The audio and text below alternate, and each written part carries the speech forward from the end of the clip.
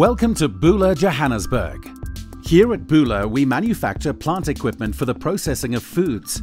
We manufacture chain conveyors for grain processing and for the mining and power generation industry. We offer a strong and trusted local presence in Africa with a state-of-the-art workshop and a local stock of spare parts.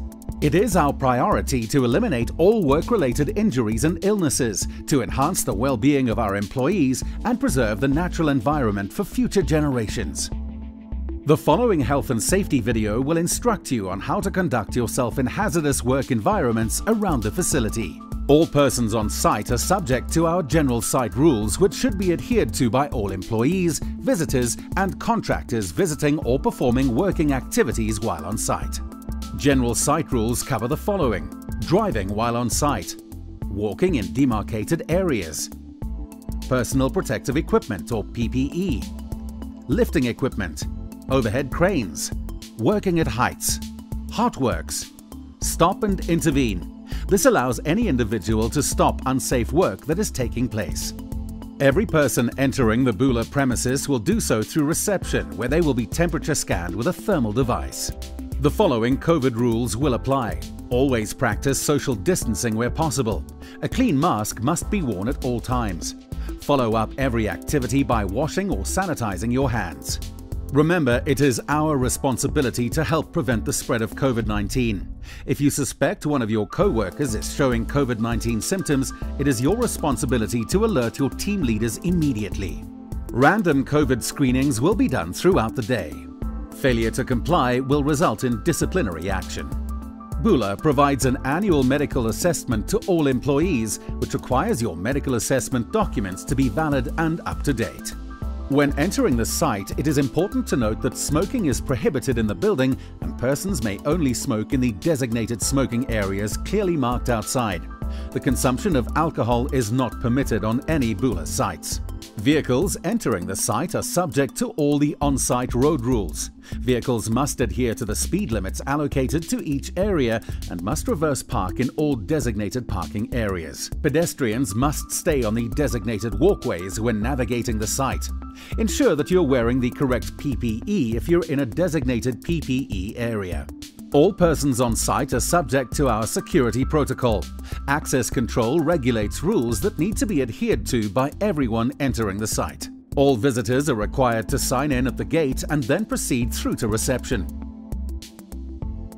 Non-employees should be accompanied at all times. All contractors, visitors and Bühler employees are subject to random searches upon leaving the premises. All employees, subcontractors and visitors will be inducted prior to entering the facility. Employees and contractors must provide Bühler with a safety file prior to work. Work can commence on site if the file is up to Bühler's standards.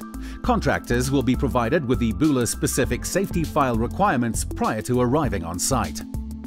Persons entering our facility are required to wear the relevant protective gear for the corresponding designated areas. Pay attention to the signage at each work area to determine the appropriate PPE for that area. General PPE requirements include visibility vests, steel-toe safety shoes, and earplugs. Ensure they fit snugly into your ear. Safety glasses are required while performing work activities. Some of our high-risk areas may require extra PPE related to the work done, including respiratory equipment and safety glasses for spray painting, safety glasses and gloves for the sandblasting booth, safety glasses, gloves and safety boots for the rolling machine, welding mask with GMAW grade lens, safety boots, oil-free leather gloves and respiratory protection for the boiler shop and welding section. The correct use of protective equipment must be worn when handling hazardous chemical substances. All routine work activities need to be accompanied by a job card, and all high-risk activities need to be accompanied by a permit to work. When performing work, ensure that you have the correct qualifications and PPE to perform the task at hand. We use the three light risk assessment to achieve situational awareness. This technique revolves around three outcomes and determines our actions according to each rule. Red rule. If your work environment has multiple hazards, stop work at once.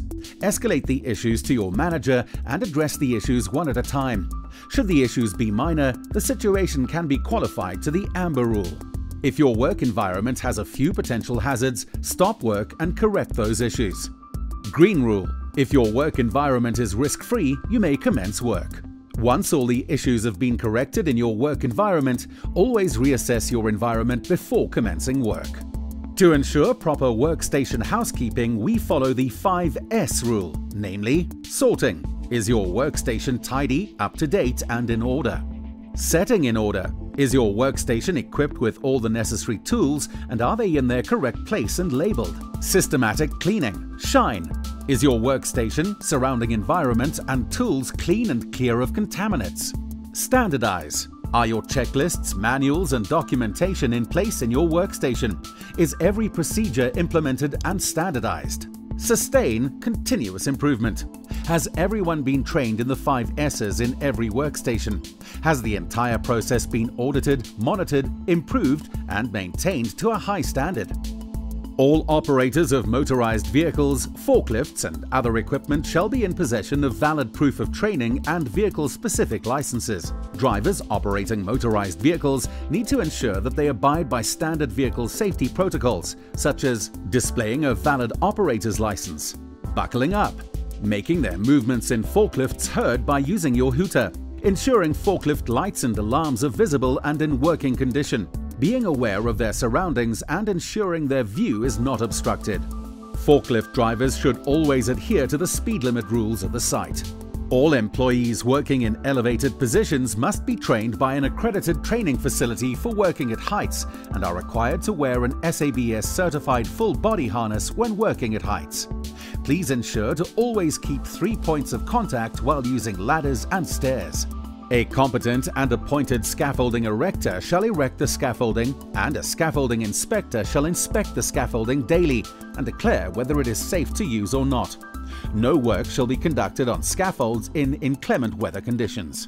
Employees and subcontractors working with hazardous chemical substances must ensure that hazardous chemical substances are correctly used and stored. Hazardous chemical substances are correctly labeled and the Material Safety Data Sheet or MSDS is displayed at the point of use for the hazardous chemical substances.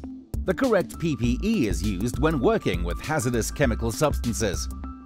Hazardous chemical substance spills are cleaned up and disposed of in the correct manner. In the case of exposure or injury involving hazardous chemical substances, the MSDS must be taken to the medical facility or hospital along with the injured person. Lockout Tagout LOTO is a safety procedure used to ensure that dangerous machines are properly shut off and not able to be started up again prior to the completion of maintenance or repair work. Ensure you have the correct permit to work, PPE, and a clear space to perform hot works. Hearing protection should be worn at all times. Specific work areas or stations require additional hearing protection such as noise-cancelling earmuffs or earplugs. Always ensure housekeeping is continuously implemented. All work bays should be kept clean and in an orderly fashion according to the 5S housekeeping rule. Adequate storage areas are provided and demarcated. The storage areas and workspaces are kept neat and under control. Every piece of equipment and PPE is returned to its place. Waste is disposed of in their corresponding bins. Walkways and roads are kept clear. As a manager at Bühler, it is your responsibility to lead by example. Always walk the talk and be a role model. Never accept unsafe conditions for you or your colleagues.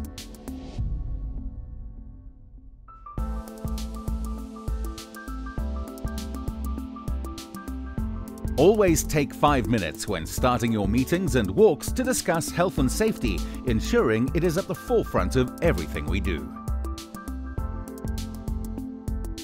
Vehicles and equipment must be maintained in good working order and inspected daily before startup. We perform a weekly toolbox talk. Please ensure to attend and use this platform to ask any safety-related questions that you may have. Specialized equipment is inspected monthly, but it is a requirement to pre-inspect your tools before commencement of work. You might encounter the following specialized equipment while on site. Portable electrical equipment, standard hand tools, lifting equipment, mobile equipment, welding equipment, and ladders, etc. Sufficient and suitable storage of flammables are provided throughout the site and inside the offices. Flameproof switches and fittings are to be used in the flammable atmosphere. Good housekeeping is maintained to prevent the accumulation of unnecessary combustibles. Adequate ventilation is maintained. Adequate and suitable fixed and portable fire appliances are provided and maintained in good working order. No person is required or permitted to work in a place where there is a danger of fire or an explosion due to flammable fumes being present unless adequate precautions are taken. A competent emergency coordinator conducts regular emergency identification exercises to make employees aware of potential incidents. Employees must be aware of all emergency evacuation procedures and escape routes. All employees are instructed in the use of fire equipment to extinguish a fire. All evacuation assembly points are demarcated. Evacuation is practiced regularly, ensuring that all persons are evacuated timeously. Roll call is held after evacuation to account for all personnel and ensure that no one has been left behind.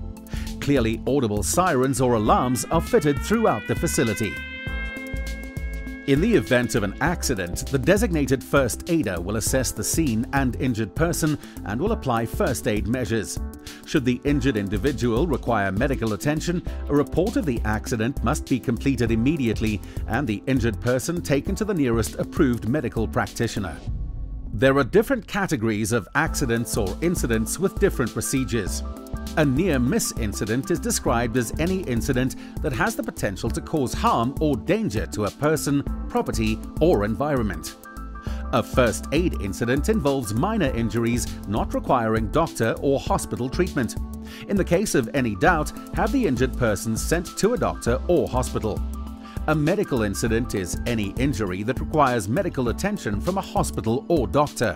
A serious injury or incident is any serious injury, disablement, or risk of death. This also includes any major machinery malfunctions or the uncontrolled release of dangerous substances or substances under pressure. A fatality is an incident that results in the death of any employee or any other person affected by the company's operation. In each case, a series of actions should be followed to ensure the incident is escalated, reported, documented, controlled, and restored. Bühler Johannesburg provides first aid as required by General Safety Regulation 3 of the OHS Act. In the case of a severe accident, Bühler will arrange immediate transportation for the injured individual or individuals to a medical facility or provide emergency first aid if required. Our 10 life-saving rules are 1. Report unsafe situations 2. Prepare your job tasks 3. Stop the job. Always stop your work if the working environment could be deemed unsafe for you. 4. Working at heights. 5. Lockout, tag out or LOTO. 6. Lift acts. 7. Road safety. 8. Vehicle movement. 9. Safe behavior. And 10. Manager behavior. We make use of an ISO 9001 2015 quality management system, which helps us comply with relevant quality standards. Ensure that appropriate measures, policies, procedures, and training are in place and maintained. Take preventative action for identified quality risks. Take corrective action for non-conformances. Regularly audit, review, and improve our quality and productivity and communicate with visitors, service providers, and staff about quality management. Employees have a responsibility to help improve our quality and productivity and to report any non-compliance with our quality policies and procedures. Bühler Johannesburg will protect the environment affected by work or activities and shall prevent pollution of any kind whilst operation is in progress. Any aspects of the environment that are disturbed during the work shall be repaired or rehabilitated to at least the same degree as it was before work commenced. To maintain a safe and healthy working environment, we must all play our part by following all the rules and regulations mentioned in this video. Always be mindful and aware of potential hazards that may affect your well-being or that of others.